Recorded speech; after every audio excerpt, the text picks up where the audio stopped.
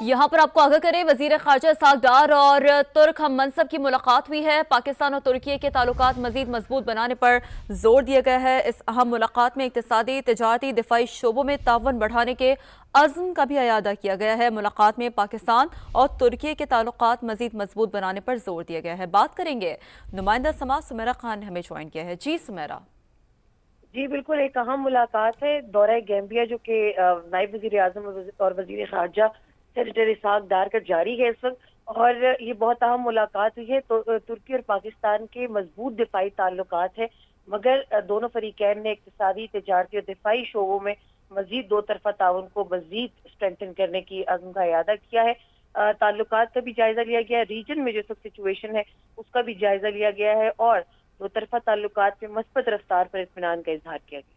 ठीक, बहुत शुक्रिया सुमेरा, आपने आगाह किया।